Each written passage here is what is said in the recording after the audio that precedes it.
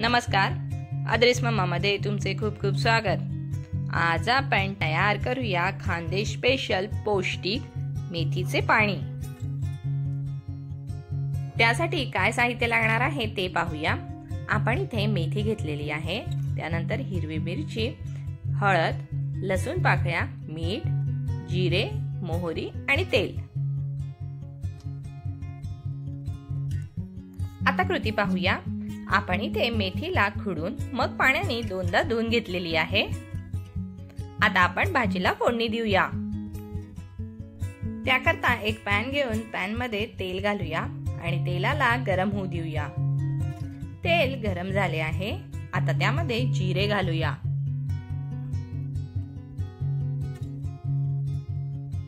जिरे छान तडतडायला लागले की मग त्यामध्ये लसूण घालूया.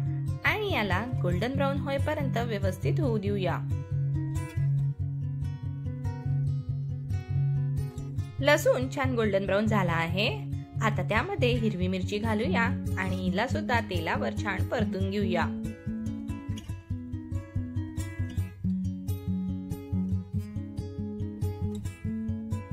मिरची छान भाजून झाली की मग त्यामध्ये हळद व धने पावडर घालूया आणि हे व्यवस्थित मिक्स करून घेऊया.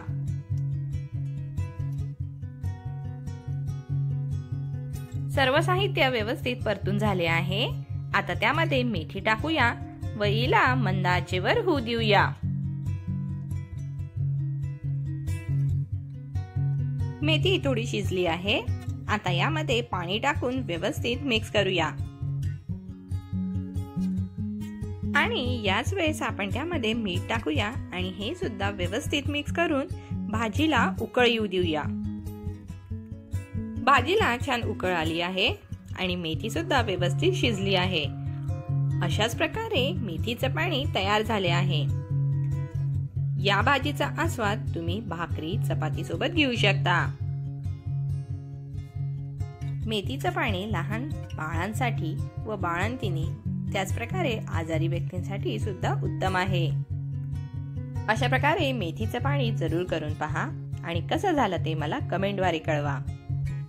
आजची ही माझी रेसिपी आवडल्यास व्हिडिओला लाईक शेअर करा आणि अशा अनेक रेसिपींसाठी अद्रेस ममा चॅनलला सबस्क्राईब करा.